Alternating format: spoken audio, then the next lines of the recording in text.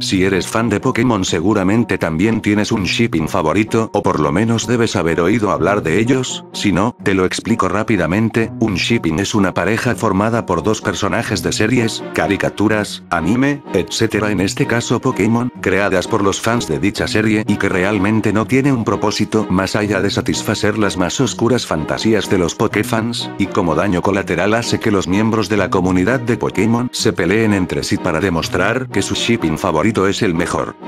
En fin, si eres fan de algún shipping de Pokémon, tal vez te hayas preguntado, ¿cuál fue el primer shipping de Pokémon? Tranquilos fans de Amour Shipping, el shipping de Ash y Misty no fue el primero. El primero, el único y el original de todos fue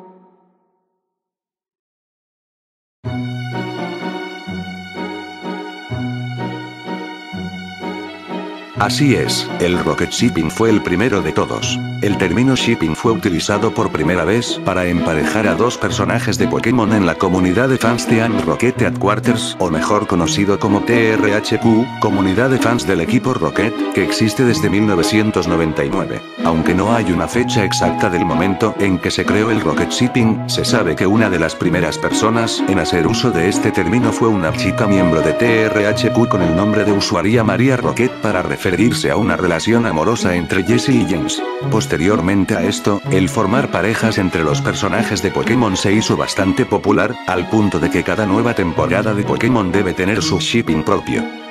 Bueno gente fue un video corto pero espero que los haya entretenido. Para despedirme quiero mandar saludos a todas las personas que aparecerán a continuación, hasta pronto.